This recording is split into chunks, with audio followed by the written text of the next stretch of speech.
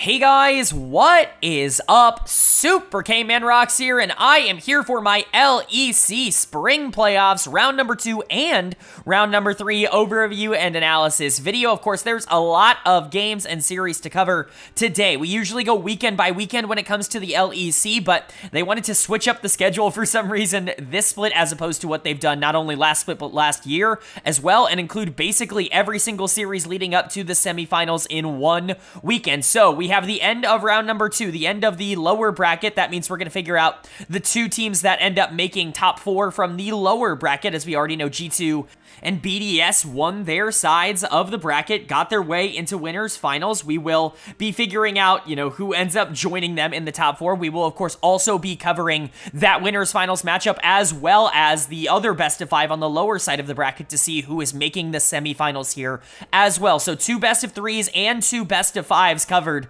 in today's video. It's going to be a good one, a longer one. If you guys are excited, let me know down in the comment section below. What did you think was going to happen in these four series that we're going to be covering today? Did you think they would go the way that they ended up going, or were there any surprises? Would love to know your thoughts and opinions down below. Of course, if you want to know my thoughts, you can check out my round one analysis up in the iCard right now. That's every single playoff series in this spring split gone over uh, up until this point, up until the start of the series today. And so that's going to be a pretty useful resource if you are at all interested, I would say, in, you know, where these series came from and, and how these teams got here. But today we are going to be going over, like I said, the final two best of threes and then the two best of fives. Format's going to be a bit different because best of threes are going to still be covered in one kind of go. We're going to cover it in one slide. We're going to kind of talk about the whole series as a whole. I'll give a player of the series and a dud of the series for the two series. And then once we get into the best of fives, then we will start covering them game by game. So winners finals, that uh, fourth place matchup, you know, lower bracket round three, whatever you want to classify it as, those two series will be covered game by game. And of course, we will be giving a player of the game and a dud of the game for each individual game once we get to the best of fives, as well as a player of the series at the end. And so, of course, at the end of the episode, we are going to know our top three teams. We're going to know uh, essentially who's in play to make it to MSI and also who is going to have guaranteed themselves a spot in the finals as well. So, a lot to cover today, but we have to start it off with the best of threes, the back half of the best of three section here in the playoffs. And we kick that off with the upper bracket matchup. This one to me was a lot closer and a lot more interesting than the lower bracket matchup, at least on paper. It was the number one seeded Fnatic taking on the number four seeded Team Heretics. And it is going to be Fnatic taking the 2 1 series win, knocking Heretics out of the playoffs. Remember, both of these teams having expended their extra life at different intervals, at different stages. Fnatic was, I would say, the favorite. I think a lot of people considered them the favorite going into this series, and they did make the most of that, but they won in pretty untraditional ways for them. Again, actually able to play through bot lane, which has been a big strength for them recently. Certainly not something that has been a strength for them throughout the entirety of this year, but their bot lane absolutely gapped Heretics bot lane, and I think that's really where you're going to be looking at the negatives for Heretics coming out of this series. Outside of that, though, there were some good performances from players on Heretics. We'll talk about those individually, but starting with Fnatic, player of the series as a whole, both for game two, game three, really just everything that this team did is absolutely going to be Noah in the bot lane. Like I said, the bot gap between these two teams was probably the most noticeable difference between both of them in this series, and that is just a general positive note, I would say, overall for Fnatic. They've been playing through jungle mid throughout the entirety of this year leading up until this point. Razork and Humanoid have really been the focal point for the offense that they have wanted to run, and when they're winning, then this team's really unstoppable. When they're losing, when Razork has a couple of bad games like he did in the final week of the regular season, this team does struggle a bit more, so it's nice to see that that alternative win condition of the bot lane is actually starting to figure itself out. When Razork was struggling, Noah and Jun actually started to pick up the pace. I talked about how I think both of them played their best games of the year in the back half of the season, and both of them have been very good in the best of three stage up until this point. Not only that, but they were good in the best of three stage last split as well. It feels like when these games get more important for this team, they start to lock in and play a little bit better. I think Noah in particular had some phenomenal positioning throughout this series. The Jinx, the Zeri, both of them were really excellent in games two and three. It really was the Jinx that was able to take over that third and final game and end up winning it. For Fnatic, you invested a lot of resources and eventually kind of got out of control. You were never going to be able to win a 5v5 if you were Heretics on the other side of it. So credit to Fnatic for knowing their win condition and being able to execute on it, but they don't actually get there if it's not for Jun. I think Noah is a clear player of the game for me in game number three, but Jun in game number two was excellent on the Alistar. We'll get into what happened when those roles flipped to the other team, the Alistar, uh, you know, when we get into game three for Heretics, but Jun was excellent in that second game, and I truly do believe that this one to two week stretch for Jun right now is the best that he has ever played in the entirety of his career, going back to the LCK, you know, even going back to Challengers League. He never really was a guy who was able to take over with his engages. He was always just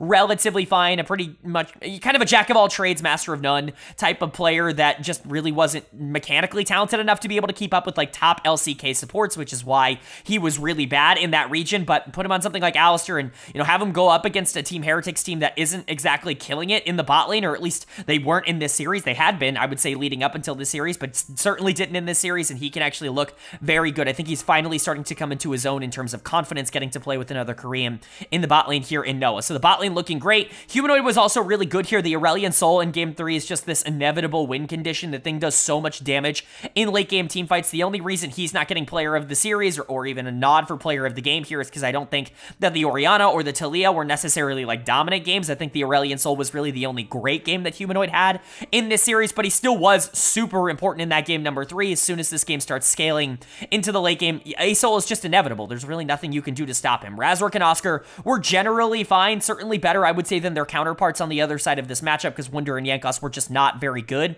But Noah and Jun were definitely the primary win conditions for this team throughout their two wins in games two and three, and then Humanoid obviously stepping up in that third and final game to get them into a good spot. But for Heretics, this is a sad way to go out. This team continues to look uh, kind of fine. I mean, theoretically, I think you can make an argument that they are a top four team. They were able to take a game off of Fnatic, and it just was a relatively rough draw, all things considered, because now you're sitting at a spot where, like, you have to beat one of the best teams in the entire league because of the way that this bracket ended up working out. It is really unfortunate, and it's really uh, just kind of unlucky for them, I would say, overall, but they had an opportunity to win this series, and they just weren't able to get over the hump that was Fnatic. Dud of the series is pretty obviously going to go to Trymbi in the support position. That Alistar game in Game 3 was miserable, constantly going in and constantly dying, constantly being out of position. This is one of the worst games that Trymbi has played. You would think he is still on Fnatic's payroll with the way he played here, that he wanted to give his former bot lane partner in Noah a free win in this series, because truly his Alistar was horrendous. It's one of the worst games that I've seen Trymbi play, and it's a really bad time for that to happen. He's obviously a lot better and a lot more comfortable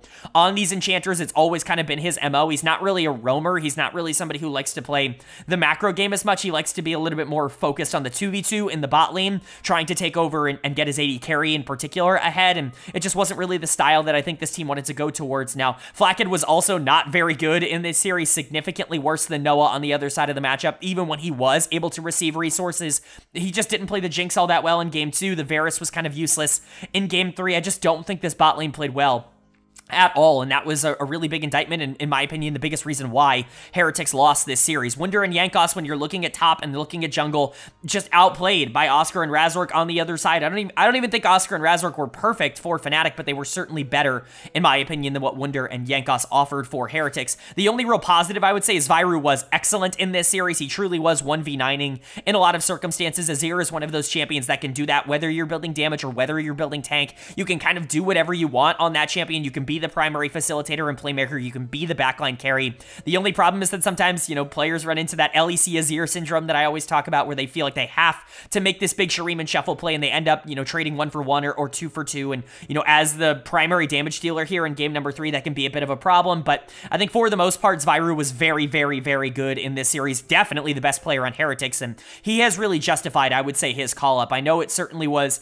kind of a weird circumstance that got him onto this team in the first place because it didn't really feel all that right generally, but he has, I guess, made the most of it in his time here. But unfortunately, that's going to be it for Heretics' split. They are not going to be making MSI. They are going to be finishing in fifth, sixth place, you know, tied with whoever ends up losing the series next. It's certainly not ideal, but I guess it is an improvement over what they were in winter, so at least there's movement in a positive direction, but this team just continues to underperform what their expectations are. This is a top four, three, even two team on paper, and they're just not able to execute on that. But for Fnatic, they make their way into the top four. They do get into the best of five stage, it would have been a disaster as the number one seed if you didn't get that. So congratulations to them. Bot lane's playing great, but I think if they really do want to get over the top, it does have to be everybody. Oscar still concerns me, and Razork and Humanoid haven't been as dominant, I would say, in the past two to three weeks as they were in Winter Split. So a lot of things still need to go right for this team, but at least we know they have alternate win conditions now.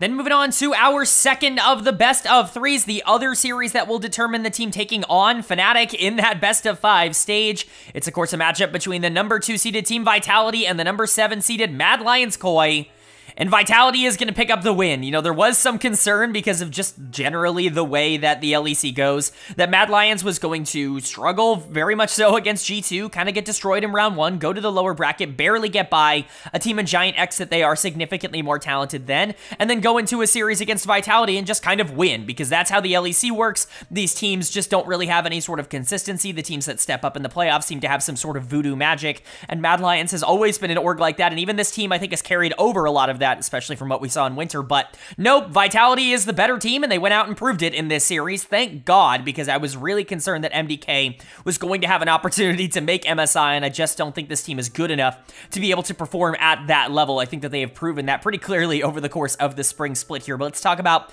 Vitality first and foremost. They are going to make the top four, you know, great to them. I, I don't know if they're guaranteed to be like a top four team in terms of execution. Like, do I think they're definitely better than a team like Team Heretics? I don't really know. I think they're probably in a very similar conversation, uh, but whatever you want to say, they got the easier draw here and they were able to go by. Uh, player of the series, pretty obviously for me, is going to go to Photon. You know, big ups to Carzzy and Hylissang, who I think played really well for a majority of the series, and big ups to Vetheo, who I thought played really well for a lot of the series. Even Daglas, I think, had a couple of really good moments on the Rell, but this was Photon's series, and he is the best top laner in the LEC at the current moment. I gave that distinction to Adam, and I still really like Adam, especially now that BDS is starting to figure things out again. I think Adam, all he has proven is that so long as he is in basically any matchup that he is even remotely comfortable in, even if it's a losing matchup, he is going to be entirely relevant in the game and he's going to be able to take over in the mid to late game. Photon is a very similar case. This guy just wins lane. It doesn't even really matter who he's going up against. Two games of Twisted Fate, being able to control the side lanes, being super relevant, even in objective fights,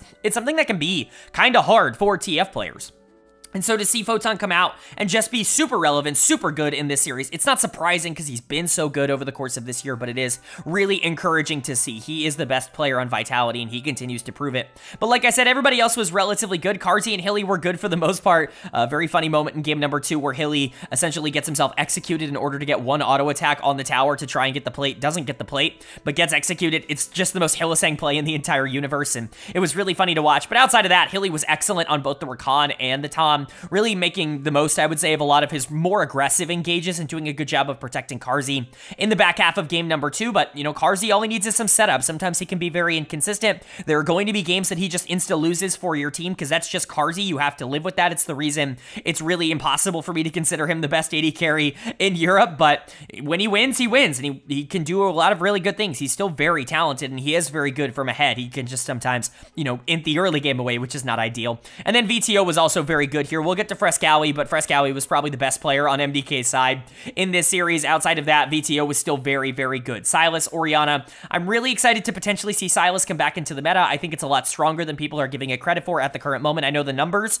aren't great, but he still beats a lot of the champions that are pretty meta right now, so that'll be interesting. Daglas had a couple of good setup moments. Vitality just generally looked very cohesive and very strong. Couple of weird mistakes here or there, but it's Vitality. You're always going to live on the edge of danger, but their mechanical talent was able to push them over a team that is just not as good as them in Mad Lions Koi. You know, for as much as we hyped them up in winter for a lot of the good things and the developments that they had, they're just not all that great of a team right now. I think as the league has gotten more consistent, as teams have gotten better, they've kind of fallen back down to where they naturally were. I think they are about as good as they were in winter. I just think basically everybody else in the league has gotten better, and they have not. They have kind of stayed at that level. A lot of that might be the fact that a lot of these players have played together before, and so that inbuilt synergy was already kind of helping them. But uh, for whatever reason, I, I just don't think they've been able to make those next level adjustments, and I think their win loss record has definitely hurt because of that. Dud of the series is going to go to Myrwn. For me in the top lane.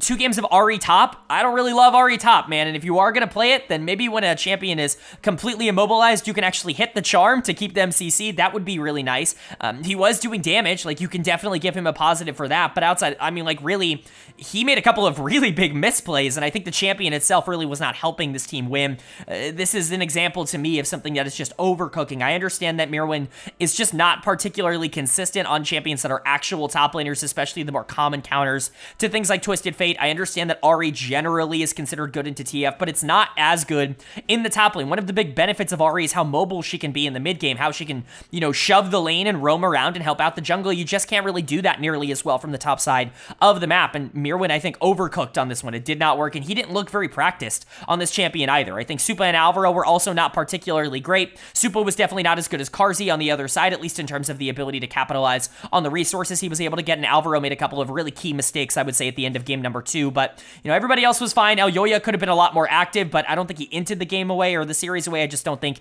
he did a lot of good for the team. And Fresskowy, like I said, was pretty clearly the best player on Mad Lions in this series. He has been pretty consistent for this team throughout this year, but it just didn't matter. The talent gap, like I said, between these two teams was simply just too big, and, and it was too much for MDK to overcome. They're going to finish in fifth, sixth. They're not going to MSI, which is fine. You're not concerned about that if you're Mad Lions. I think it's better that this team isn't going international, even though they made the finals in the winter split. I think this is a lot more realistic towards what the expectations for this team should be moving forward. But for Vitality, nice win here. You've got yourself into the top four. Anything can happen from here. You have by far the hardest road of anybody left in the top four to potentially make MSI, to make an international tournament. But I think if this team even just makes like top two, if they make the finals, I think they're going to be very happy with that result, even if it doesn't kind of culminate in an international tournament. Overall, overall top four is definitely going to be considered a positive for a team in an org that has really struggled to get there in the past couple of years.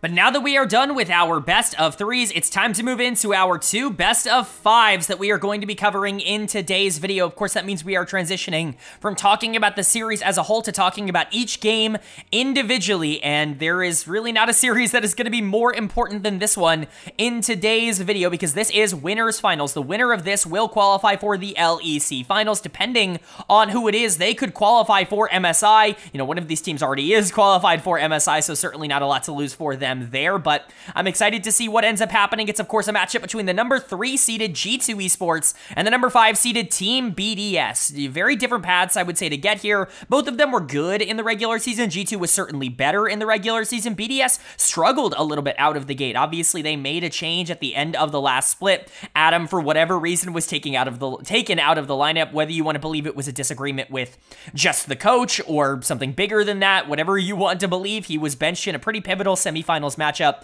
against Mad Lions in the previous split. He was returning here to BDS at the start of spring, and things didn't click, I would say, in the same kind of way that they were in previous splits. I think this is the worst that Adam has played in the last year and a half, and that should be pretty indicative because I really don't even think he's been that bad. He just, he's been excellent over the past year and a half, and I don't think he was excellent at the beginning of this split, but they have started to figure things out. The end of the regular season was incredibly successful for them, and they were awesome in the playoffs. They took down some really good teams. Team Heretics in the first round. They took down Vitality in the second round. These are genuinely good teams. And I think moving forward, you just want to see that same level of aggressiveness. I think when you're looking at players that have stepped up recently that need to continue to step up, you're looking at the jungle mid duo here for BDS. Because Adam, you know, while he's not been perfect recently, you can relatively rely on him in pretty big moments. He has never been a player to shy away from the major spotlight. He was awesome at Worlds, easily the best player on BDS this past year. And I think generally he's been the most consistent member of BDS over the past year. And then you look at Labrov and Ice, they've been very consistent, I would say, in the bot lane. And Hans and Mickey have kind of been the weak link for G2, at least recently. Hans has been fine, but Mickey has certainly run into his own problems in terms of being able to survive some bad engages. He was really bad in the final week of the regular season, and that hasn't exactly turned around so far in the playoffs for G2. And so you're looking at Ice and Labrov as potentially a strength. Adam could potentially be a strength, but Sheo and Nuc have been really good in this playoff run up until this point. Nuc, I feel pretty good about. The only concern I really have with Nuc, and the reason I'm bringing him up here, is not because he has been poor across this year or even poor at all in the playoff run, but rather there is some voodoo magic that he just does not play well against G2. It seems to be a, rather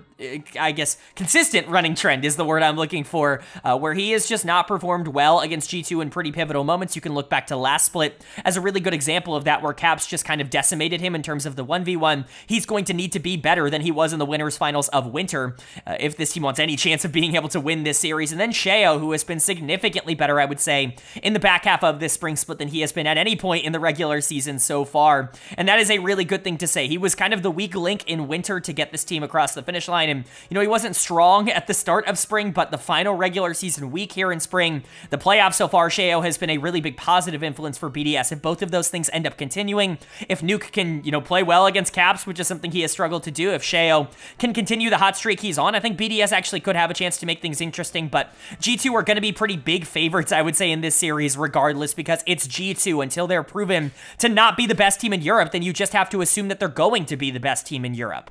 They have the best players. I mean, Caps is by far the best player in the region. You have someone like Broken Blade who's played really well recently. I'm a big fan of Yike. I think Hans has played well. Even if Mikyx in particular has really struggled in the recent weeks, showing a lot of shades of 2022 Excel Mikyx, there still is more than enough talent on this team for the expectation for them to be for them to cruise to another title. If they don't win the, the split in spring, if they don't win everything in the LEC, that's almost a disappointment, I would say, in terms of their expectations. So they're going to be favorites, but I think BDS could make it interesting. My prediction is still going to be G231. I really don't see any reason not to predict that. That's what I said in the previous video when I was talking about this series and what to expect. Um, I really don't see any reason not to expect G2 to be better and to be able to make their mark. But is that going to be the case? Or is BDS going to make it more interesting than maybe I'm anticipating? Well, we of course got to start it off with game number one. And the winner of game number one was... G2 Esports. They are going to take the first game of this series. They're going to go up one to nothing. Game one, pretty important to be able to capture, pretty important to be able to establish yourself in, and that's exactly what G2 was able to do here. It's really hard to give nuanced and, you know, critical analysis of games like this because BDS did a lot of things right, and I think they also did a lot of things wrong, but G2 also did a lot of things wrong. I think lucky for them, they just have the best player in the entire region on a champion that is pretty inevitable in the back half of games. He did a very good job job of getting himself ahead in the mid game. And by the time you hit this, you know, 35 minute team fight, all of a sudden there's just no way to actually be able to stop the big space dragon. Player of the game in game one is going to go to Caps. I mean, he's gotten so many of these. I feel like he's gotten like over 15 across this year so far. If you include the individual games in the playoffs, it truly is unfair how good Caps has been in comparison to everyone else. I mean, I'm not going to sit here and say that he's guaranteed to be a top 5 to 10 player in the world by the time we hit these major international tournaments, but there's just no reason to not believe that he can't be with the way that he is currently operating in the LEC. Aurelion Sol is obviously this champion that you look at as, you know, scaling oriented pick, something that doesn't need to be super aggro in the early to mid game in order for it to be super useful as the game continues to go along. The only problem with giving that over if you're BDS, because I understand the idea that maybe you just want to pressure the early to mid game, you feel like you are going to be able to outdo what G2 is able to do with this more late game comp, the Sion, the Asol, the Jinx, a lot of champions that really want to ramp up as the game goes along. I understand the idea, but the problem with that is that if you're not actively better than Caps, then you're not going to be able to pull it off. And unfortunately, you just weren't better than Caps. You didn't rely on the fact that, I mean, you didn't account, I should say, for the fact that Caps was just going to get gold in the mid game anyways on Aurelion Sol because he can do that because he's Caps. And so, you know, obviously credit to Caps. He's excellent. He is ridiculous. He's playing at an unbelievable level right now. And it's the reason that I think there's just nobody in the LEC that can stop G2 because I think Caps single-handedly can beat basically every single team in the entire region. However, it wasn't just him. I think the Sion actually was a pretty positive pick for the team in this game. The Varus was not even tickling the Sion by the time we hit the late game. And yes, you're looking at this comp as a lot more scaling oriented. You're looking at this comp as something that's going to be a lot more, I guess, like focused on those 5v5 team fights. And so something like Sion is going to have the opportunity to get those stacks and to scale into the late game. But Broken Blade, I think, has been significantly better in spring than he was in winter. He was not phenomenal for me in winter. He was fine. He was good, especially in the finals. But throughout the entirety of that split, I thought he was just kind of okay. He has been significantly better than that so far in the spring split, and I think this was another good example of just how to pilot something like Sion at a high level. Yike was very good on the Rell, consistently good engages. I think Hans and Mickey were fine. They didn't really have to do all that much. In this game, you really relied a lot on Aurelion Sol and Sion to be kind of the primary facilitators, or, you know, Sion being the primary tank and to attract a lot of attention from BDS and Aurelion Sol to be the big damage dealer with Rell kind of being the engaged target here. But G2 generally just, I think, had a really good idea of how they wanted to play out their mid to late game. They allowed the game to go to the part of the game they knew they would be a bit stronger at, and they executed on that. So credit to those players and mostly credit to Caps. And then for BDS, you know, there were some good moments, I would say. Like, I think Nuc was generally fine in this game. Sheo was generally fine in this game, and we were talking about how Jungle Mid needed to be positive in order for this team to even really stand a chance in a series like this. Luckily for them, they were relatively positive. The problem was you just didn't have enough damage on this team to actually be able to get through the Sion, even let alone with the Rell plus the Lulu and, you know, all the other things that go along with this comp, and you were dying way too fast to the Asol in these fights. Dud of the game is going to go to Ice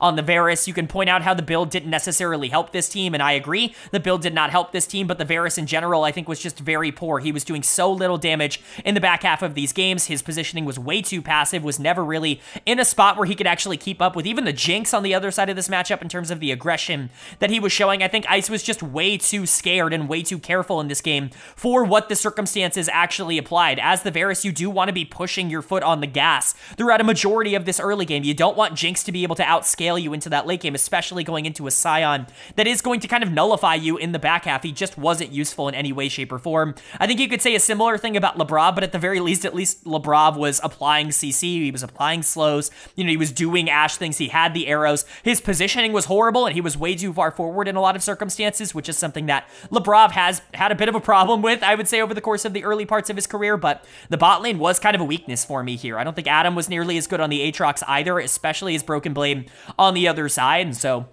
you are at least a little bit concerned. You're not shocked that this team is going down 0-1, but again, 0-2, down 0-2 against G2, that's a disaster. Winning three games in a row against this team does feel generally impossible, and so this is a must-win game for BDS in game number two for them to even be able to stay alive, in my opinion, in this series. But G2 could take a commanding lead here and really establish themselves as the frontrunners in this series, I think, where they expected to be. Can they do that here in this second game, or is BDS going to be able to tie everything up? Well, the winner of game number two was BDS. They are going to take game number two. They're going to tie up this series at one apiece. And like I said, a necessary win for this team. You do not want to go down 2-0 to G2. That is a disaster spot to be in. You want to be in a spot where you can, at the very least, keep up with a team like G2. And winning game number two here does put you in that spot. It now turns into a regular season best of three. I guess it's not a regular season, just a best of three with the best of ones here uh, in the regular season for the LEC. I'm so used to saying that from the LCK and the LPL, but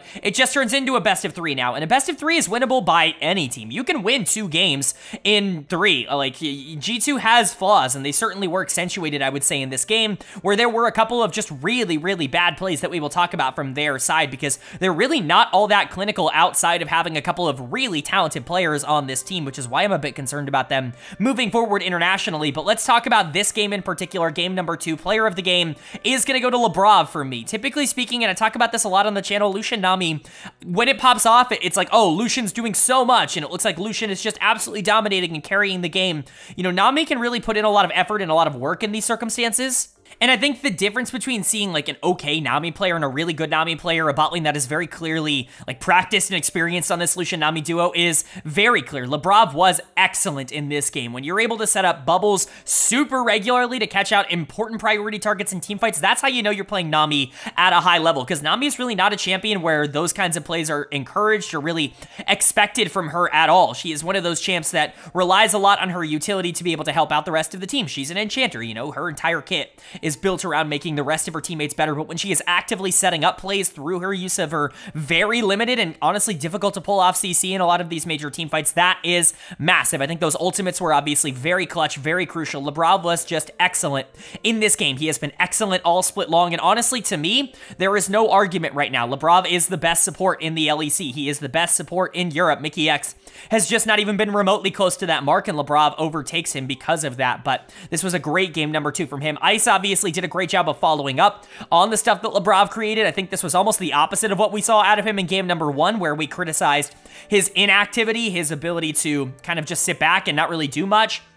That was something that I thought really hurt this team in game number one. Well, here in game two, they were super active on the Lucian Nami. You need to be basically an assassin on this champion, and that's exactly what Ice was. He was ducking in and out of fights, you know, constantly focusing priority targets and really making life a lot more difficult for things like the Jinx and the Jax in particular on the other side. So credit to Ice. Sheo was really good. His pathing was excellent in this game, and that's something that I think has really improved throughout the year. He was looking a little bit lost, I would say, at the beginning of the split. They didn't really have a clear direction for, I think, where they wanted to go with a lot of their plays in the early game, but I think the more this team has played with each other, the more they figured out what they want to do, the cleaner Sheo has gotten in terms of his early game, and I think prioritizing that Lucian Nami very aggressively in the early game really helped. Nuc and Adam were also generally fine, certainly not bad at all. Adam in particular, I thought had a couple of good moments on the Gragas, but this was Ice and Labrov as the carries, and Sheo I thought really was the one who kind of facilitated that for them. So that's really nice to see. Tying up the series is big for them, and you know, G2's not going to be super concerned with this loss. I think they're going to look at this more as a setback than as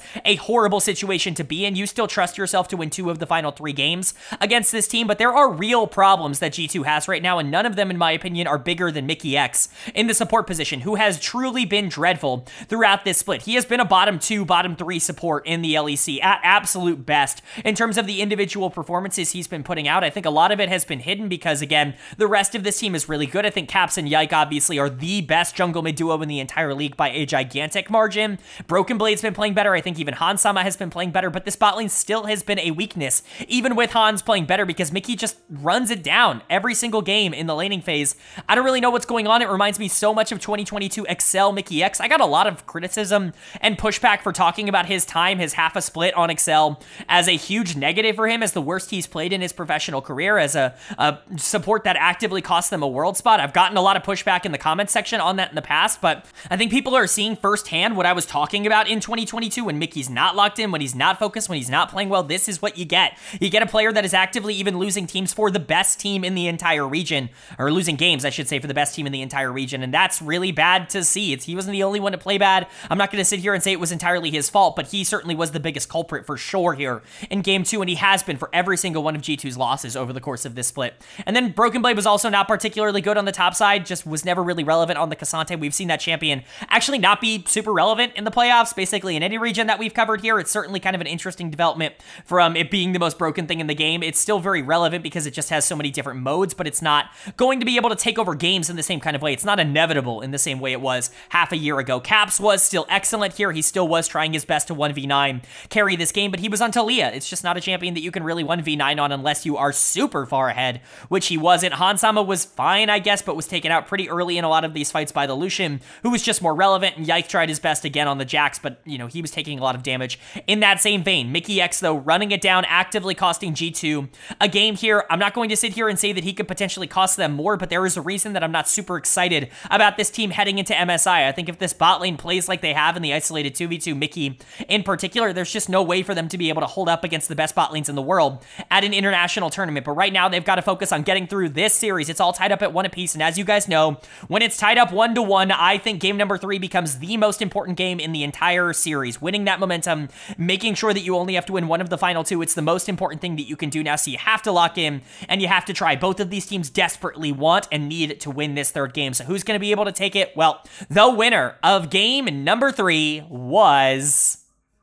G2 Esports, they are going to take game number three. They're going to retake control of this series by going up two to one and putting themselves on finals point. They only need one more win in order to get themselves into their second straight LE, well, I guess their third straight LEC finals. If you continue from last year for BDS, you're now on the ropes. And I'm going to be honest, this game was not even remotely close. I don't even know how I can talk about this for, you know, six or seven minutes. I don't know if I'm going to fit a full segment into that because this was a 21 minute absolute absolute slaughter from the side of G2. Both of these teams opting into very similar team compositions to what they had in game number one, and I don't really know why you would want to do that if you're BDS. Clearly, you were already in a, a predicament in a circumstance where you didn't feel all that good coming out of game one, and so you opt in to the low damage Varus and the Ashe that clearly Labrov doesn't pilot nearly as well as the Engagers. You opt in to the Volibear, which hasn't been working, and you give over the Aurelion Sol, the Jinx, and the big tank on the top side of the map. This time, it's the Zac instead of the Sion. Maybe not quite as internally tanky, not going to have nearly as much health, but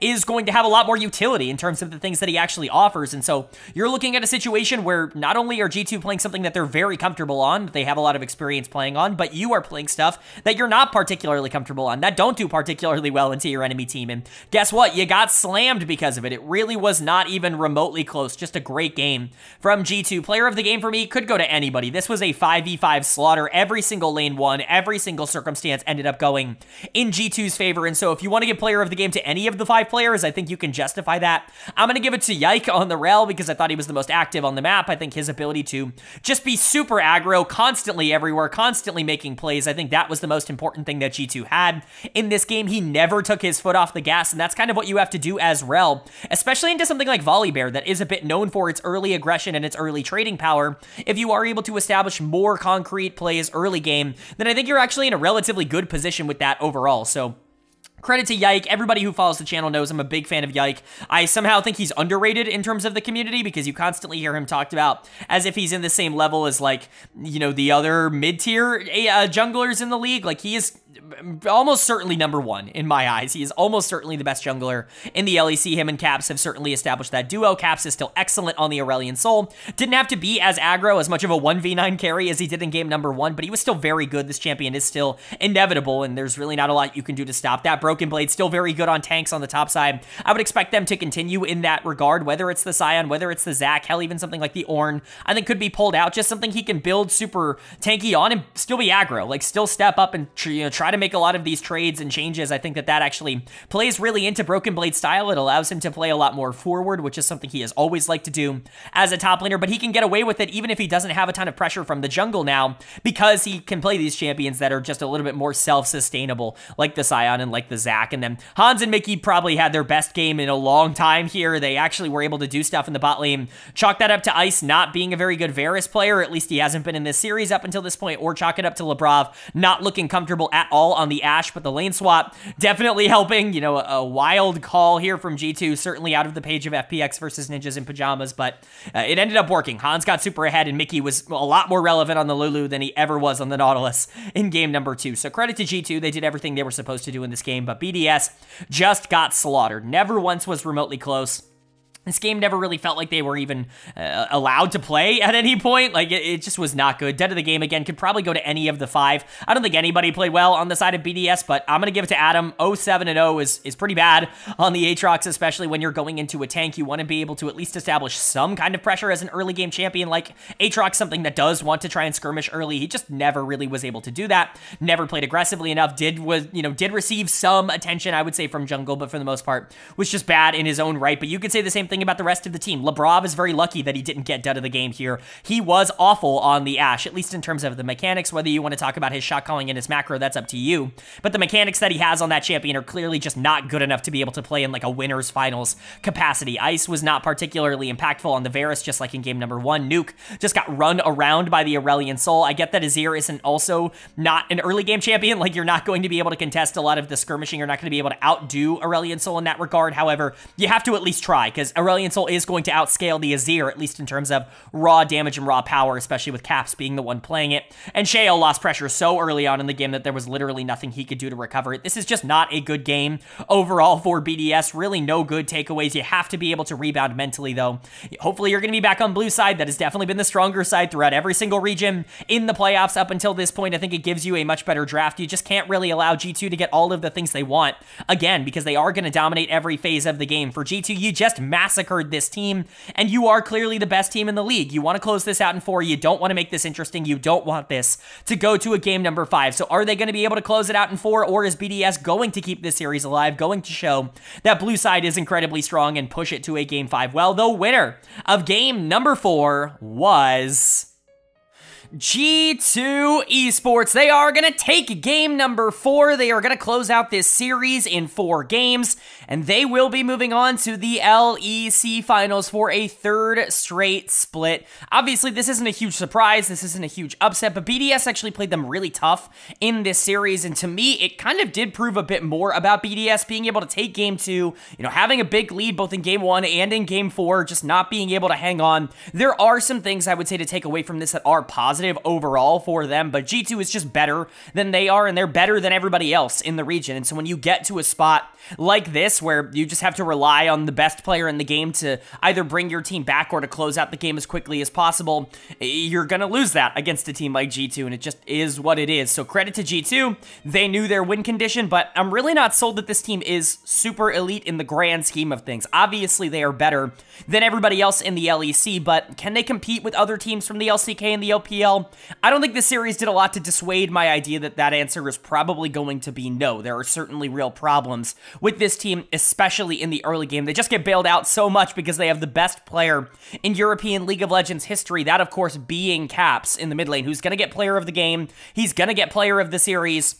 There's just not much else we can say about him at this point. This is truly like 2019, 2020 caps back from the grave, and it's really good to see. Not that he's been bad at all over the past few years. He's still been one of the best players in the LEC, but he's not been the unanimous MVP, clearly the best player in Europe, like he was in his prime when G2 was dominating, making world finals, winning MSI. Like that version of G2, Caps was a top five player in the world at his absolute best. I'm not saying that he's absolutely that now because I think the competition level of of what he's going up against on a game to game basis is a tad bit lower, but he is dominating the league like he was in his prime. Like, this is the same kind of performance you would see out of prime caps just a couple of years ago. And so that's really great to see. He's obviously phenomenal on carries, but to see him be able to pull the game back and win it essentially for his team on the Taliyah, like, it's really impressive stuff. We talked about it a bit in game three, but sometimes putting your best player on something that's a little bit more of a facilitator can both help and hurt your team. I really like flexing Rek'Sai into the jungle. We've seen it exclusively be used top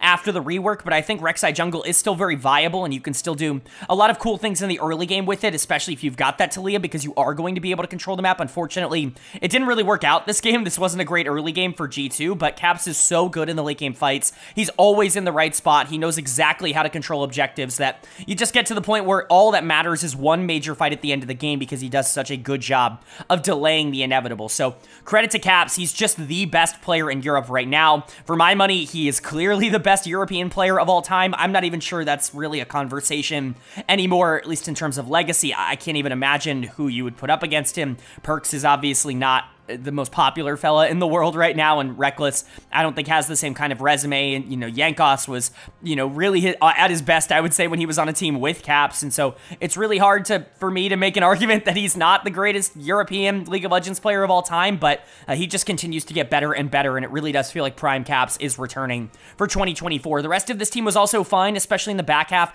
Mikyx on Janna was honestly pretty good. He was really struggling in lane in the previous games, not only in this series, but obviously this year. We We've talked about it extensively in this series already. Put him on something like Janna, well, all of a sudden, this gets a lot easier. Janna is something we've seen rise in popularity specifically in the LPL. There are a lot of players in the LPL that play a lot of this champion, and so you know, we've seen it picked a lot more frequently. I don't think it's this unanimously fantastic pick, but I am the guy who has been banging the drum on Enchanters for a little while. I still think that they are just as strong as they were at their absolute peak. I just think people don't like playing them, and so they get underplayed in terms of the meta. But pulling out something like Janna in a circumstance where you're going up against Kai'Sa and Rakan, and you want to apply a little bit of pressure in the early game, you still want to be useful in the back half of games. You want to facilitate an Aphelios or a Taliyah or a Rek'Sai to be able to carry in terms of damage. I think Janna does a really good job of that. She she's going to still be very useful and still going to be very difficult to deal with. So probably Mikyx's best game of the series up until this point. Uh, Hans, Broken Blade, Yike, they were all fine, I would say. I wish they had better early games, specifically the top side of this map. Broken Blade, I think, is generally very good on Sion, and I've actually grown to really like him on weak side. I think it's really a role that he has started to adapt very well. I've talked about this in previous years a lot. He used to exclusively be a top side player when he was in North America or when, when he was on Schalke. He really was exclusively somebody that needed resources and needed jungle attention in order to be relevant in the back half of games, but I think he's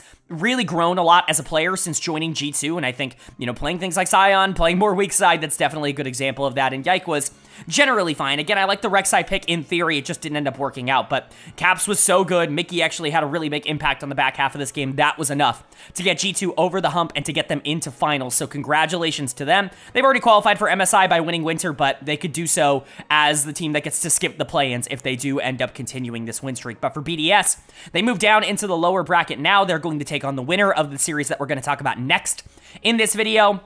And like I said, it's really hard to be like entirely frustrated with this team. They had a really good game plan, and honestly, they should have won this game in the same way that they should have won game number one. There were multiple moments in this series where if they just didn't bottle it down the stretch, they probably might be going to the finals, right? You could talk about three games that they should have won in this series. The problem is, uh, should have doesn't really count. If you throw leads in the late game, then you're not you're not winning those games. And so it is a little bit frustrating. I understand from the side of BDS, a couple of pretty big underperformances, I would say, in this final game, number four. Dud of the game for me is going to go to Adam. He's just off his game right now. Ever since he came back in at the start of spring, I do think it's the worst he's played in the LEC. I'm not exactly going to sit here and say that this was like a horrible, horrible split or this was a horrible, horrible series for him. I just don't think it's up to his standard. He was outclassed by Broken Blade, and that's honestly something that we haven't seen super regularly from Adam. Even in his bad matchups, he usually is able to survive and be useful in the late game, but he just wasn't very good in this series on some more aggressive picks as well. Things that, you know, typically you would think would allow him to be more of the Adam that we know and love in lane and out of lane. And so it is a little bit surprising and a little bit frustrating to see it just not work out for him, but you would have to hope that it's just a little bit of a bump in the road. Uh, I think everybody else was relatively fine in this game. Maybe you wanted to see Labrov go in a bit less in the back half of games, maybe get caught out a bit less, but he got ice super fed. And so for the most part, it was worth it. They just couldn't capitalize on all the gold that was on the Kai'Sa, which is definitely frustrating. You, once again, have a comp that is built to win 5v5 team fights, and yet you get to this stage of the game where you're going into Taliyah, Rek'Sai, and you can't win. It's certainly got to be frustrating for BDS, but you just have to look back and say, well, Caps was the best player in the game, and that's why we lost. If we had better control over objectives, if we did a better job of actually being able to push our tempo, when we got those two Barons, then perhaps we walk out of this game with a win, but it's just not meant to be. They're going to go down into the semifinals, into the lower bracket. They still have an opportunity to get to MSI. You know, depending on what happens in the series that we talk about next, you know, the conversation surrounding that could be a lot more interesting, depending on who wins between Fnatic and Vitality. But at least for now, the clearest path that they have to getting to an international tournament here is to win the semifinals, is to win their next series and to get their rematch with G2. With the way they played here, I'm pretty optimistic that they're going to at least be favorites going into a series like that, but you never really know with the LEC upsets are so common. But for G2, very, very nice series. Caps is an absolute monster, and there's just no other way to look at them right now than as the major favorites to win the LEC once again.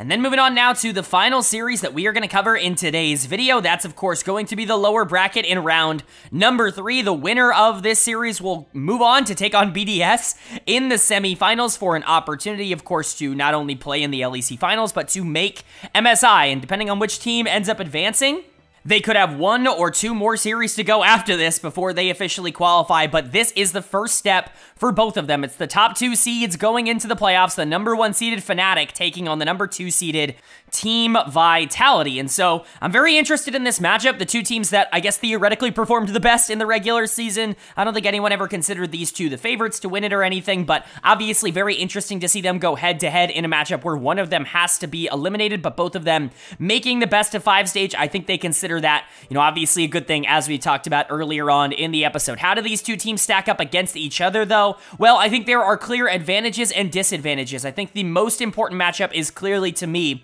going to be the bot lane. Noah and Jun taking on Carzzy and Hylissang. I think both of these bot lanes can be rather volatile.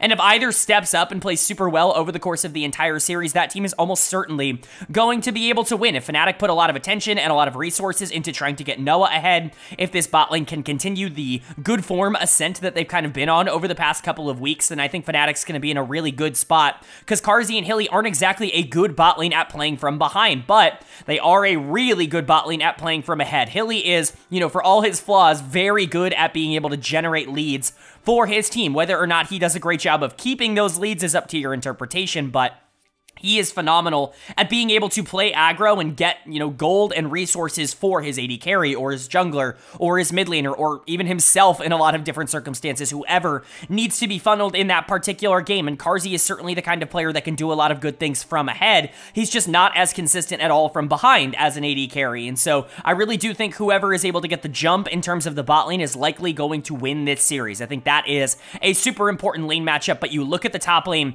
that should be pretty team vitality favored. Photon should just straight up be better than Oscar Oscarinin. You would imagine that that is actually not a particularly close matchup. Photon, I have a couple of tiers ahead of Oscar as a top laner. So that's, I think, where Vitality can definitely generate a lot of their own advantages. But then, you know, Jungle Mid, I think, theoretically should be in favor of Fnatic, specifically this jungle matchup. Even though Razork has not been perfect over the past few weeks, Daglas is certainly somebody that has never played at this kind of level before. This is his first best of five at the top level in Europe. That is a big ask to go up against a player like Razork, who has been here time and time again. But the mid lane matchup is just as interesting, in my opinion. You've got Humanoid and Vetheo, and this could also be kind of a swing point for this series. Humanoid has not been nearly as hot as he was in winter, and I think that that has definitely cooled off Fnatic a bit, at least towards the end of the regular season. In the playoffs here, it's the reason I don't think they were able to even remotely touch a G2 in their series, is that Humanoid needed to be one of the best players in that series, and he just simply wasn't. And Vetheo, to his credit, has also cooled off a bit, I would say, going into the spring split. However, both of them for different reasons. Vetheo has taken a bit more of a facility facilitator role. Uh, Photon, Carzzy have definitely been more of the primary carries for what Vitality have wanted to do, whereas Humanoid I just don't think has been as active in these games. I think mid lane could be a big turning point for both of these teams. I think bot lane could be a big turning point for both of these teams. Where do I have it predicted? Well, I didn't actually get a chance to predict it, obviously, because I covered their previous series in this episode, but I would have predicted Fnatic. They were much higher in my power rankings. I've had them at number two in my power rankings for basically the entirety of the spring split. I really don't have a reason to believe that they're not going to be the better team here. Vitality, to their credit, I think has overperformed, but we're not even sold that they are guaranteed a top four team. You know, Heretics kind of got unlucky with the draw having to face Fnatic in the previous round. It would have been a lot more interesting to me to see Heretics take on Vitality. I think that raises more question marks, but Fnatic should be favorites going into the series. I think they will see it as a bit of a disappointment if they don't walk out of this with a win, but of course, getting a win starts with game number one. So let's go ahead and go game by game, and the winner of game number one was... Team Vitality. They are going to take the first game of this series. They're going to go up one to nothing. And this was an action-packed game. 38 kills for Vitality in 31 minutes. They were certainly not playing it safe. But that's where Vitality is at their best when they're constantly looking for these plays, whether they are good plays or bad plays, just going for it over and over and over again. You've got a lot of really talented mechanical players, and really the flaw in this team is that you don't really have a lot of players that have been known for their good macro over the course of their careers. You know, I'm not going to say that players like Photon and Vetheo are stupid, but Carzzy and Hilly as a bot lane always known not only as a duo, but separately as two very aggressive players that are constantly going to be looking to take 50-50s and to be pushed forward, and so getting a lot of aggression down in the bot lane, I think is a positive. And then Daglas is another player who the scouting report on him was very aggressive coming out of Vitality B. And so to see that kind of carry over here into this playoff series, at least in game number one, it really worked for them. For Fnatic, I really hate this draft. I think you have almost no win condition in the back half of this game unless Diana is super fed, and it is so difficult to get Diana fed in terms of how this composition is really operating. And so I really, really do not like this draft. I imagine that they're going to pivot and go to something different throughout the rest of this series, but I think they put themselves in a pretty big hole in game number one that they just couldn't quite dig themselves out of. Player of the game for me is going to go to Hylissang in this support position. I know this is maybe more of a controversial opinion because Carzzy, Vetheo, even Daglas all played super well in this game, but I don't think they generate nearly as many advantages, in my opinion, without Hylissang playing as aggressively as he did on the Rumble support. Of course, this is a pick that has risen in popularity throughout the year. Life over in the LPL for FPX has made it a pretty popular one, has certainly popularized it. I would say maybe hasn't introduced it, but certainly made it kind of a, a noteworthy pick, and we've seen the strength that, that it can put out on enemy teams in the LPL, and Hylissang is kind of the perfect example of a player that I think would excel on it here in the LEC, and that's exactly what he did. Now, was he a little bit too far forward sometimes? Absolutely. There were one or two deaths in this game where you can actively point and be like, what are you doing? Like, why are you there? Like, what is your goal? Like, what is the thought process? But the good plays were the best plays in the game, in my opinion. So Hilly is going to get the player of the game, even though it is a little bit variable in game number one. Carzzy was also excellent, I would say, in this one on the Varus. Didn't really have to create a ton of his own action throughout this game, was mostly just kind of a beneficiary of what Hilly and Daglas were creating, even Vetheo with those point and click charms.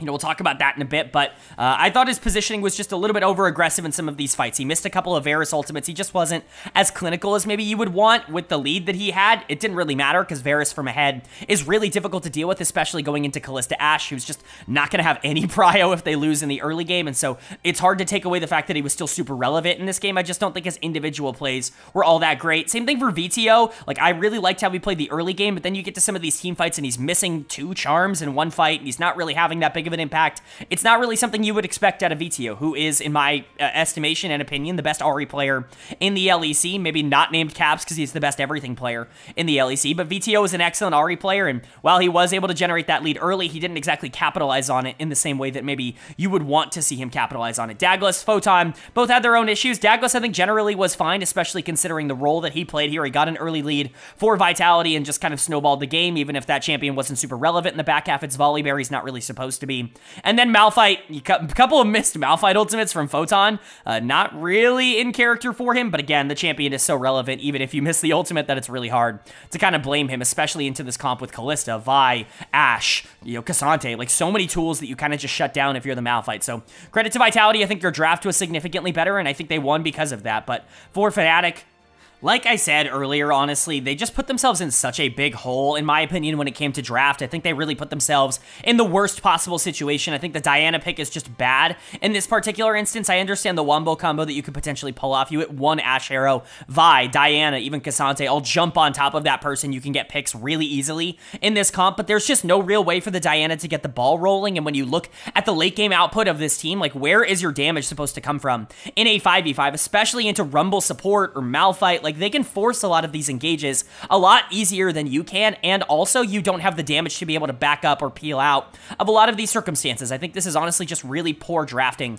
from Fnatic, and they really struggled because of it. Rightfully so. I think the dud of the game is going to go to Humanoid. Now, it's not entirely his fault. I want to point out that a lot of the problems that I think he individually ran into in this game were the champion and not so much the individual plays that he made, but that's his fault to an extent that he picked Diana. He was really useless in this game. This champion did absolutely nothing nothing, and it never was going to do anything. I think that's the most frustrating part is I just don't really see an avenue where Diana is useful in this particular game, and I think Humanoid definitely felt that the hard way. Noah is also somebody to point out as having a really, really terrible game. His positioning on Kalista was horrible. He was tickling the front line by the end of the game, and honestly, his target prioritization in some of those late game fights could have cost them a couple of really important circumstances. They were behind by a lot, but Vitality was making mistakes. They were leaving opportunities open for Fnatic to get themselves themselves back into the game. And Noah just did a really poor job, I think, of capitalizing on those opportunities that were essentially handed to him. Jun wasn't very good on Ashe. That's been a recurring trend, I would say, throughout this year up until this point. Um, Oscar was bad again on K'Sante.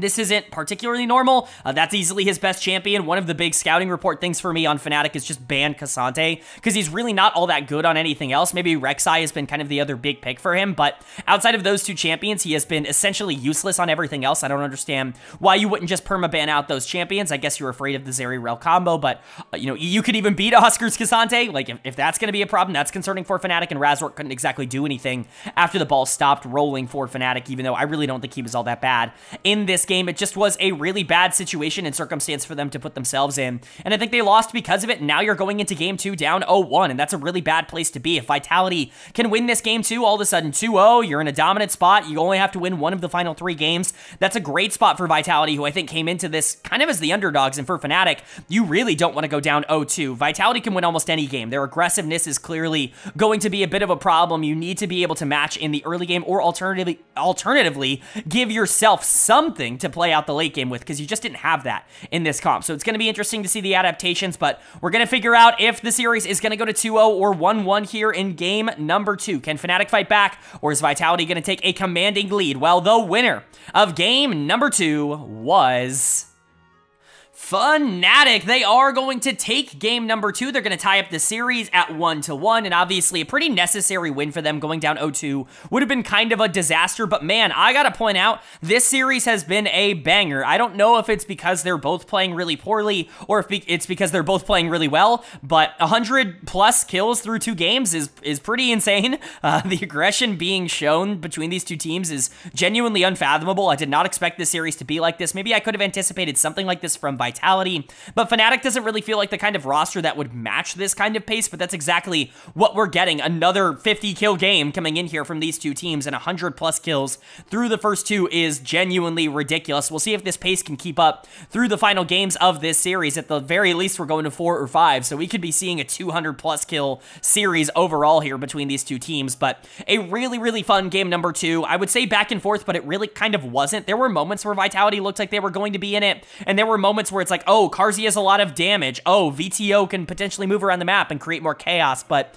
they did exactly kind of what I wanted to see from them. The Fnatic, that is, uh, did exactly what I wanted to see from them in game number two, which is index a lot more into these late game resources that are just going to be relevant essentially no matter where the game state is at. Things like Xayah, Azir are very common as a duo, or at least they have been in the history of professional League of Legends, and there's a reason for that. Xayah can have pressure early. She can compete because her damage is pretty high in the early game. However, she doesn't need to because she does scale incredibly well in that same vein. Her numbers aren't exactly where they used to be, but they can still be really, really good, and that's exactly what we saw from Noah. And the Azir is obviously just something that is universally useful in the back half of games. Add a Jax onto that, a Blitzcrank for some playmaking potential. You have more options, I would say, in this game, and I think they capitalized on it well. Player of the game is going to go to Jun for me.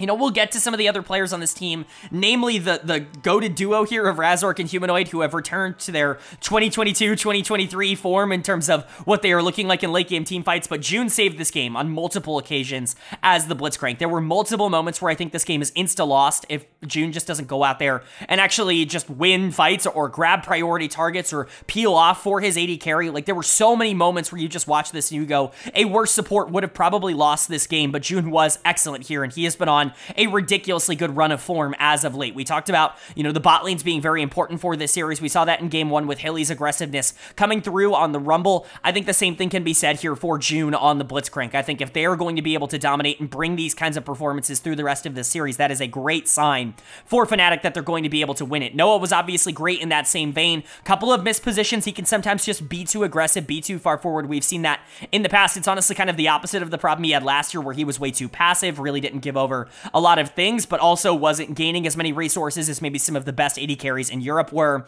I think we've kind of transitioned into a more aggressive bot lane. Perhaps it's because they feel more comfortable with each other now. But Noah was very aggressive in this game, and it did work out for most of this game, especially in the later team fights. I do have to criticize Razork and Humanoid, though. I know I've been very complimentary of them over the course of this year, but I'm not going to sit here and forget what it looked like in 2022 and 2023, where I did criticize these two as a duo very heavily. And one of the reasons I said in this offseason that I was surprised that both of them were coming back is just because it didn't feel like they ever had great chemistry, I should say, as a duo. And honestly, that's kind of what we saw here. Just a couple of really big misplays. I know the score lines look okay, but Razork had a couple of really bad plays in the mid game that almost cost his team the entirety of the map pressure they had done a really good job generating. And then Humanoid with one of the single worst cases of LEC Azir syndrome I've ever seen in my entire life. Again, I know I talk about this a lot, but LEC Azir syndrome is truly a menace right now in Europe, and you don't have to go for the Shuriman Shuffle every single fight. Sometimes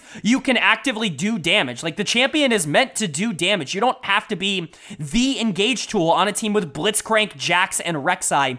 It is just so preposterous to me the only real way that I can describe it is it, it's like hero ball. It's like when you watch an NBA game and you see one player just constantly trying to, you know, take these isolations and, and, and constantly just checking up threes because he has to save the game himself. You don't have to do that. If you're humanoid, you've got a team around you that is very strong. You've got engage tools. You've got ways to peel off your backline. Just do your job. But uh, uh, I'm sorry, this was just a bad game from humanoid and that doesn't translate into the scoreline. But I think he was one of the worst players in this entire game. And that's the first two games where where I think he has been genuinely not good for Fnatic, like the worst player in this series up until this point. And so it's really not exciting to see that. I think he tried his best to lose some of these fights for his team, but at the end of the day, they were able to win him because, again, Jun and Noah were really far ahead. I also think Oscar was really good in the back half of this game, which I didn't really expect. Rek'Sai is not one of those champions that you're really anticipating a lot out of in late game team fights, but I think Oscar did a good job. Overall, it was enough for Fnatic to be able to pick up the win, but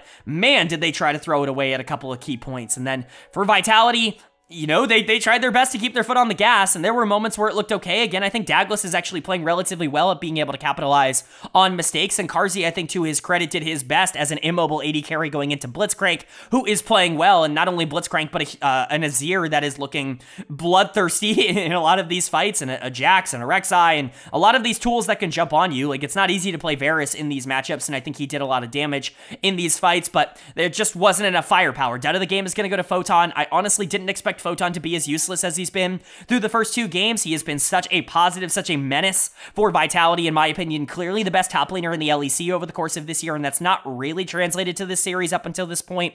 The Jace just didn't really get to do anything, especially being given R5, being that quote unquote counter pick into Rek'Sai, being able to actually match it in the early laning phase. You have to be relevant, or at least more relevant than the Rek'Sai throughout the entirety of the game, and that just didn't really happen for Photon. So you are a bit concerned about that, but I really honestly don't think that there are too many major issues for Vitality. They just gave over too many big plays to Fnatic, and I want to give more credit to the players who played well on Fnatic and also criticize the players who didn't play well rather than sit here and point at Vitality. This is much more expected. Fnatic actually drafted a comp they could execute on in the late game, and they were able to win because of it because they are kind of the better of these two teams. Now, is that going to stay true throughout the entirety of the series? There's really only one way to find out because, of course, game three now, tied up at 1 1, becomes the most important game in the series. Being able to reestablish that pressure if you're Vitality or gain control of the series if you're Fnatic is massive. Winning this game number three is likely going to translate to who has the pressure for the rest of the series. So, big game number three here. Who's going to be able to take it? Well, the winner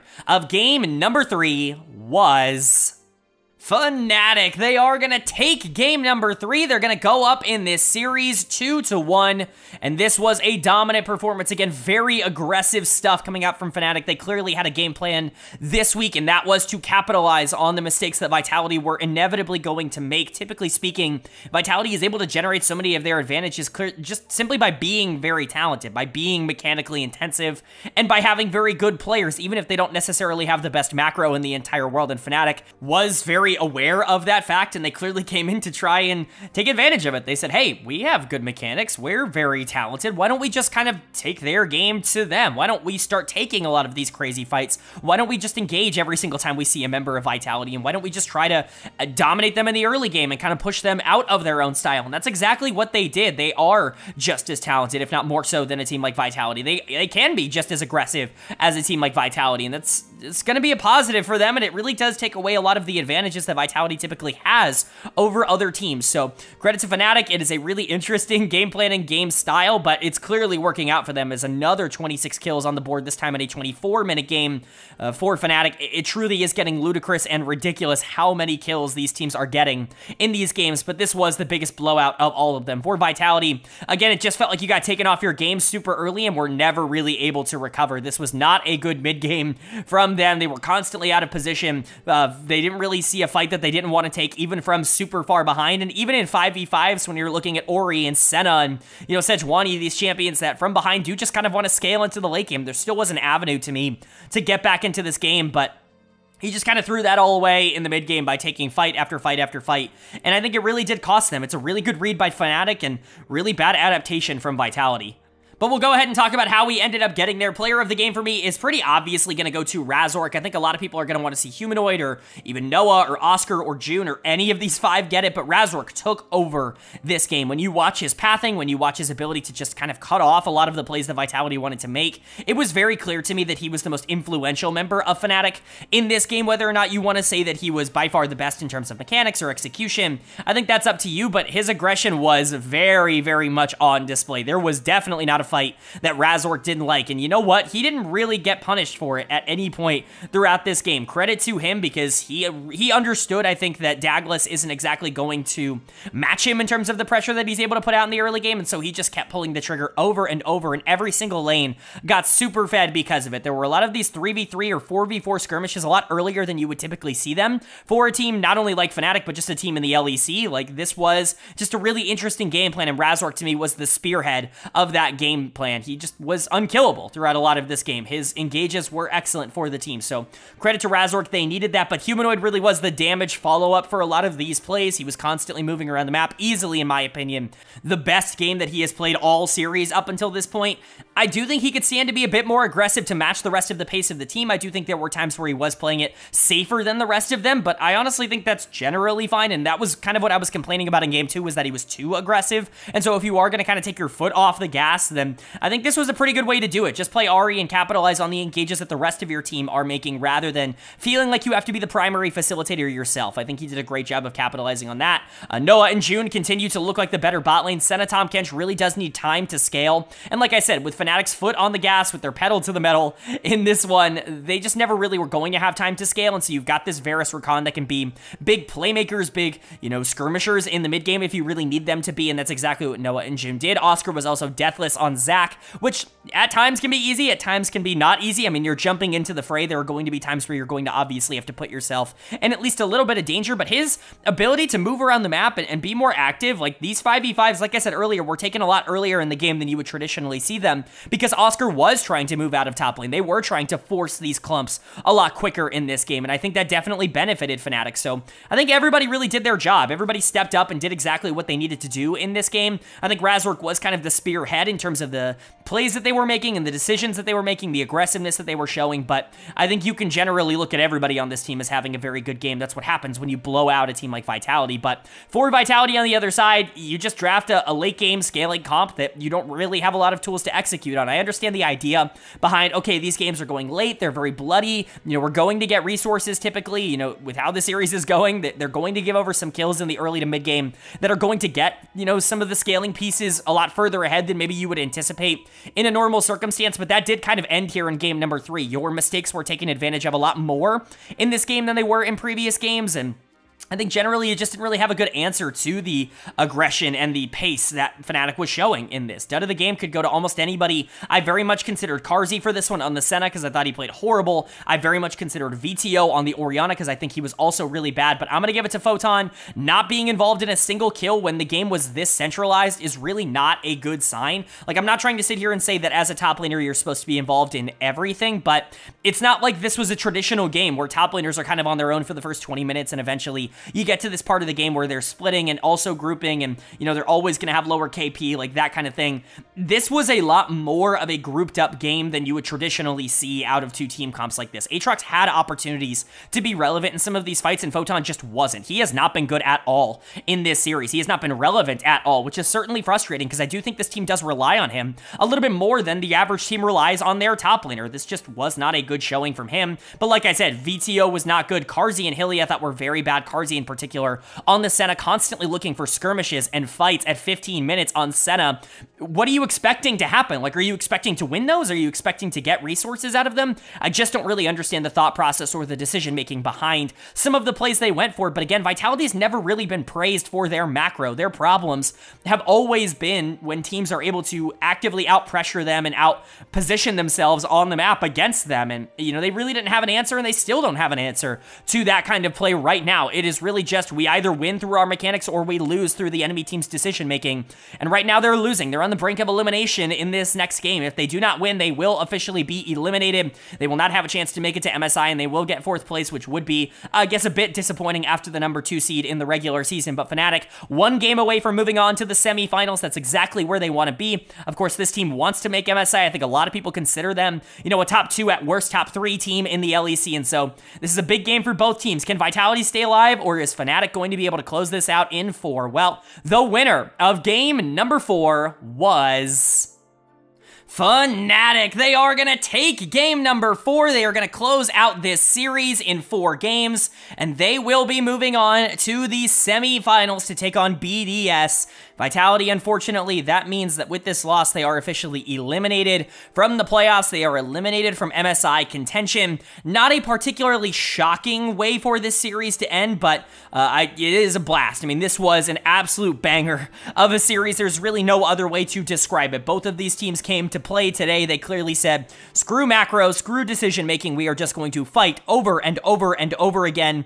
And the better team is going to come out on top. Unfortunately for Vitality, that was Fnatic. But this was a blast. This was a kill record in the LEC for a best of five, which is crazy because this was four games. They didn't even go to a fifth game, and yet they still set a kill record for an LEC best of five. That is genuinely unbelievable. But credit to these two teams. They certainly went out and tried to break that record, and they succeeded. So good stuff to them. We'll talk about what this means for the playoffs moving forward, of course, at the end. But player of the game to me is going to go to Humanoid in the mid lane. He finally had that really, really great game, I would say, on Azir. Was still a little bit over aggressive on this champion, more than maybe I would like, because I still would like to see him be more of a backline carry, especially when you've got Vi and Renata and Zac and a lot of these divers that can do a lot more. Renata's not really a diver, but, uh, you know, she can facilitate a lot of these plays, and that's kind of the point that I'm trying to make. Humanoid doesn't need to be the, the hero, but he still was excellent in this game in game number four. Certainly better than his counterpart on the other side of this matchup in Vetheo, who had a very rough game four, a really rough series, especially down the stretch, and we'll talk about that. But it's just nice to see Humanoid actually have a very good game here. I was very critical of him throughout the first couple of games. I think you look at games one and two, and you're like, man, this is the worst player in the entire series, and that's really not a good place to be at. But games three, games four, significantly better. He did a lot of good stuff on the Ahri in the previous game, and he did a lot of good stuff on the Azir here too. I just wish that he could kind of find a middle ground of these playstyles. Oftentimes, I'm either complaining about him being too aggressive or not aggressive enough like he was on the Ahri in game three. I wish he could find kind of the sweet spot in the middle, that would be a lot more preferable, I would say, overall. And I think that's something that could potentially hold him back from playing against the best mid laners in the world, you know, like Caps. But at least for now, this was certainly good enough to be able to get over the hump that was Vitality. Player of the series as a whole for me, maybe shockingly, is going to go to Jun in the support position. I don't think a lot of people were seeing that coming. I know broadcast gave it to Oscarinin. That's shocking to me. He was the player that I, I'm not going to say I considered the least because I really like how he played Zac at the back half of this series. Games three and four were both very good from him in terms of his ability to group up and actually force the tempo of the game to accelerate a bit, take these 5v5s a lot quicker than you would expect. But player of the series, like that is a little much for me. It certainly is not what I would have voted, but uh, I think Jun was excellent here. And to me, he was the most valuable player on both of these teams. I didn't really feel like he had a bad game across across this entire series. Maybe you can look at game number one, the Ashe wasn't perfect, but games two, three, four, he was very relevant in all those games, and he saved game number two individually, and so uh, I really, you know, I, I want to give him his flowers. I, have been very critical of Jun over the course of his pro career, not only here in the LEC, but of course in the LCK as well, and so it's nice to see him have a very good series when it really matters. He was very good on Renata here in game four, a couple of great ultimates. Maybe he was a little bit too far forward in a couple of circumstances, but he was still incredibly influential on the way that this game ended up turning out, and so, you know, I want to give him his credit there there. I think the other player that I really consider for player of the series was Razork. And if you want to give it to Razork, I totally understand that. To me, it's like a 55-45 thing between Jun and Razork. Whether you want to give it to Razork or Jun, it's really up to you. But I'm going to give it to Jun. I think Razork could win it, though. You know, I criticize the Vi pick a lot on this channel, not only in the LEC, but in every region. I just don't think Vi is one of those champions that's all that consistent because she relies so much on her early game or else she's just going in and dying and not really doing anything in the late game. But Razork plays Vi so aggressively in the mid game that he is able to generate generate these large gold leads, and he is able to get like really far ahead in terms of the items and the stats that he has, which makes Vi a very difficult champion to deal with. So credit to Razork, he was excellent, especially after game number one. I think games uh, three and four in particular, again, for him were really, really great.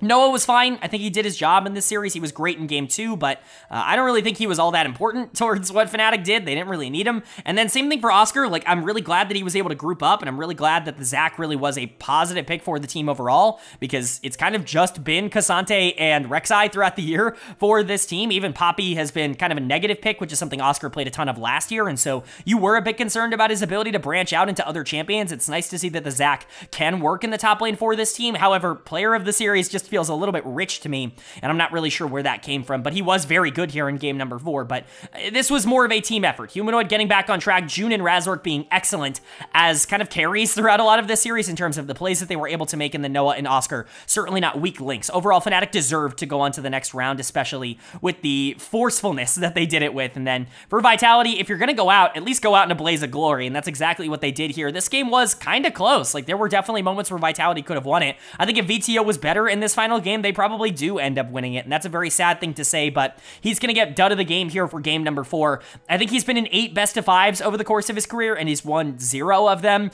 It's not a good sign. It's certainly not something that you want to hear from a player that is so individually, mechanically talented, and has had so much success in the regular season. To see that he's never actually been able to win a best of five over the course of his career is certainly disappointing, and then you get performances like this, and you're like, is this somebody that can perform in clutch situations? Is he somebody that disappears when the games matter more? It's certainly a conversation to have. I'm not going to sit here and put that on him because I don't think I've necessarily thought of him like that in previous years, but it's certainly something that is now creeping into my brainwave. He was just really bad here at the end of game four. When you're doing less damage than the Sejuani in a lot of these fights, you're not really being all that useful on the Akali, and this is kind of his signature champion, or at least one of his signature champions, and so certainly one of the most disappointing things that you could see from Vetheo here in game number four, but The rest of the team was fine. Photon finally had a good game. He was really bad through the first three games, but he was excellent here in game number four. Tried his best to single-handedly win the game 1v9 for Vitality. It just wasn't enough. It's so hard to do that on Renekton, but he was doing so much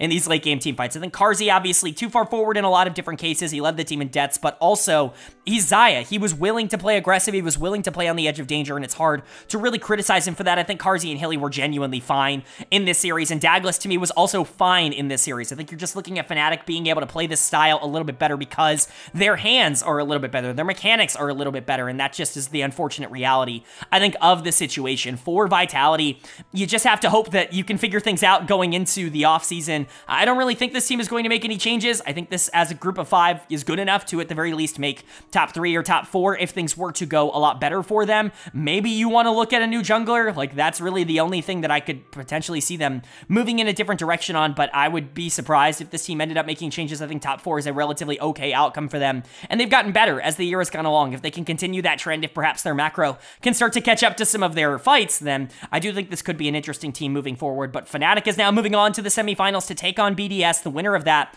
will qualify for MSI. It is as simple as that. They don't need to win the league or anything because G2 is already, you know, in the in at MSI. They've already qualified due to their win in the winter split. So it's definitely an interesting one. We'll preview that in just a second. But congratulations to Fnatic. It's been a really good split, I would say, overall for them. A lot of these players have stepped up, and I think that culminated here in a win against Vitality. All right, but that is going to do it for my LEC Spring Playoffs Round 3 overview and analysis video. That's winners finals. That is the lower bracket. Both of our first two uh, best of fives done and dusted. It's now just the semifinals and the finals remaining here in the LEC. We're going to get individual videos for both of these series, so I'm excited for that. Quickly to preview BDS taking on Fnatic. Um, I think this is going to be a really fun series. I don't really know who the better of these two teams in, is in the regular season. I would have felt confident saying that it was Fnatic. I felt like they were a lot more controlled in terms of how they were playing the game in the regular season. And obviously, they just put on a clinic in terms of aggressiveness in that series against Vitality. But BDS has really been stepping it up in the playoffs. I think this is by far the most interesting matchup. Remember, the winner of this auto qualifies for MSI because of the way the championship points have laid out. These two teams are two and three in terms of championship points. And whoever wins this will become the number two team in terms of championship points, regardless of whether or not they are able to win the LEC finals. So this is an international series qualifying match for BDS and Fnatic. And I think it's going to be a blast. If I really had to put my money on a team, I'd probably put it on BDS. I think they're the better of these two teams, but like barely. This is like a 55-45 series for me. I feel less confident about this than I did about uh, Fnatic over Vitality, which I felt pretty good about, and obviously basically any other series that we've talked about. Uh, I mean, Vitality BDS, I felt BDS was the better team. And so, I don't know. Right now, it's a really, really interesting one, but I would love to know what you guys think down in the comment section below. Who do you think's going to win? Who do you think's going to go to MSI, BDS, or Fnatic? Would love to know your thoughts and opinions down below. Of course, if you enjoyed the video, leave a like. It really does mean a lot to me. Lets me know you guys are enjoying the content, and it does help get this video out to a lot more people, which I'm always very appreciative of. If you're new here, hit the subscribe button. We don't only post about the LEC, the LCK, and LPL playoffs are both also going on right now, and of course, like we said, MSI is just around the corner. If you want a comprehensive overview of everything going on in LoL Esports, this is the place for it. Hit subscribe and hit that bell so you can be notified when those videos do go live. But of course, with all that being said, I hope you all are having a great day. I hope you continue to have a great day. And I will see you all.